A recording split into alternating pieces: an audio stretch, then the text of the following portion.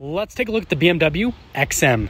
Powering the XM is a hybrid twin turbo 4.4 liter V8 putting out 644 horsepower and then 590 pound feet of torque. Now, the front end styling of the new XM is not controversial whatsoever.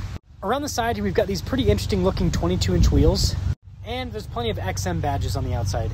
Now, being a plug in hybrid, we do have a charging port, and being an XM, I guess we have these weird looking door handles.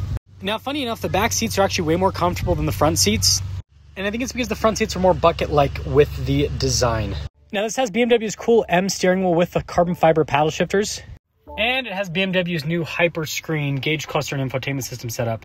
Oh, and it doesn't have a sunroof, but it has this very interesting headliner. Subscribe for the full review.